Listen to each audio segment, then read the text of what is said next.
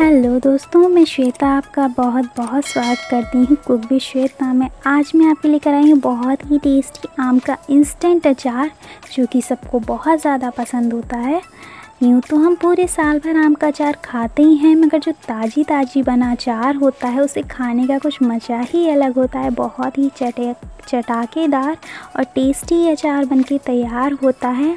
और जो लोग तेल कम खाते हैं या जिन्हें अचार तो बहुत पसंद होता है, मगर ज़्यादा तेल के वजह से खा नहीं पाते हैं तो उनके लिए तो ये बेस्ट है, क्योंकि ये बहुत कम तेल में बन के तैयार हो जाता है और आप इसे आराम से दो से तीन महीने के लिए स्टोर करके रख सकते हैं।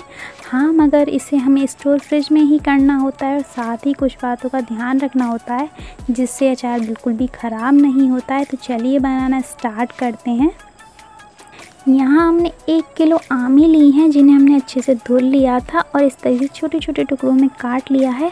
आप चाहें तो बड़े बड़े टुकड़ों में भी काट सकते हैं।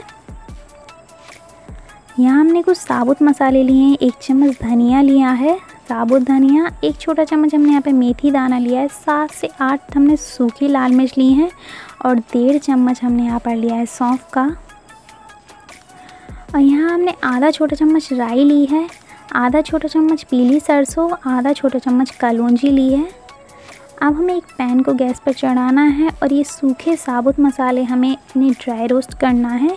इसमें हमने लाल मिर्च, धनिया, मेथी और सौंफ लिया है। एक से दो मिनट के लिए मीडियम फ्लेम पर भूनना है। सिर्फ़ एक अच्छी खुशबू आने तक बहुत ज़्यादा नहीं भूनना है। सिर्फ़ जैसे ही इसमें से खुशबू अच्छी आ जाए, आपको फ्लेम ऑफ़ कर देना है। हमें अपने सारे स्पाइसेस एक ग्राइंडर में डाल देने हैं। ये रोस्ट किए हुए मसाले हमें सारे अपने ग्राइंडर में ले लेने हैं। और साथ ही हमें ऐड करना है डेढ़ चम्मच नमक। अचार में नमक थोड़ा ज़्यादा ही लगता है और एक चम्मच हल्दी पाउडर। और साथ ही यहाँ पर आधा चम्मच हमने यहाँ पर हींग का यूज़ करा है। कहा जाता है हींग के बिना तो अचार अधूरा है और ये हकीकत है। और हमें कुछ इस तरीके से इसे दरदरा पीस लेना है। बहुत ज़्यादा दरदरा नहीं है और बहुत ज़्यादा बारीक भी नहीं है। हमें एक पैन में चार से पाँच चम्मच तेल डालना है। सरसों का तेल ही आप यूज़ करें, बेहतर रिज़ल्ट मिलेंगे। और इसे बहुत अच्छे से हमें गर्म कर लेना है, एकदम धुएँदार। और फ्लेम ऑफ़ करके हमें इसे थोड़ा ठंडा कर लेना है, जैसे ही गुनगुना रहे। हमें इसमें डालनी है राई, पीली सरसों और साथ ही मेथी, सॉरी, कलौंजी। और इसे अच्छे से मिक्स कर लेना है। यहाँ अभी हमारी फ्लेम ऑफ़ है। इस बात का ध्यान रखें, अभी फ्लेम में ऑन नहीं किया है। और अपनी इसमें हमें बारीक कटा हुआ आम डाल देना है। मतलब बारीक तो नहीं है मोटे मोटे टुकड़ों में कटा है।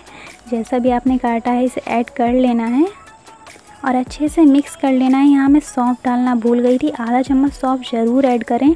खाते वक्त बहुत अच्छा लगता है जब सौंफ के छोटे छोटे दाने मुँह में आते हैं। बहुत ही टेस्टी लगता है। अब हमें इसमें डालना है अपने भुने हुए मसालों का पाउडर। और अच्छे से मिक्स कर लेना है। यहाँ हमें अच्छे से इसे मिक्स करना है ताकि हर टुकड़े पे अच्छे से मसाला लग जाए। अब मैंने यहाँ पर फ्लेम ऑन कर दिया है और मैंने इसमें आठ से दस चम्मच के करीब पानी डाला है। ये क्लिप मिस हो गई थी, इसलिए आपको दिख नहीं रहा है, उसके लिए सॉरी और इसे हमें चार से पाँच मिनट के लिए लो फ्लेम पर ढक के कुक कर लेना है लो टू मीडियम पर। और जैसे ही चार से पाँच मिनट हो जाए, हमें इसका लेड हटा देना है और इसे अच्छे से पका लेना है। आप कह रहे होंगे, आपने पानी डाल दिए तो ख़राब हो जाएगा। तो ये बिल्कुल ख़राब होने वाला नहीं है। पानी हमारा इसमें सारा सूख जाएगा और बहुत ही अच्छा आपका चार बन के तैयार होगा। अब मैंने यहाँ पर फ्लेम ऑफ़ कर दिया है और इसे ढक के रख दिया है जब तक ये ठंडा ना हो जाए। 10 मिनट के लिए 15 मिनट के लिए इसे छोड़ देना है। फ्लेम बिल्कुल ऑफ़ था। ये अपनी ही गर्माहट में अच्छे से कुक हो जाएगा और इससे टेस्टी भी बहुत ज़्यादा बनता है। और ये हमारा बहुत ही टेस्टी अचार बनके तैयार है। इसको निकालते वक्त क्लीन चम्मच का यूज़ करना है। और हमें इसे फ्रिज में स्टोर करके ही रखना है।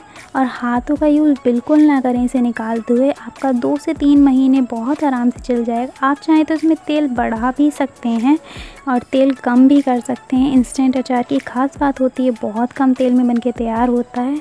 ये बिल्कुल ख़राब नहीं होता है। मेरे यहाँ तो अक्सर ये पाँच पाँच, छः छः किलो आमी का पड़ जाता है और सबको बहुत पसंद होता है। एक बार ज़रूर ट्राई कीजिएगा। आपको बहुत पसंद आएगा। अगर वीडियो पसंद आए तो please please like share and subscribe. Thanks for watching.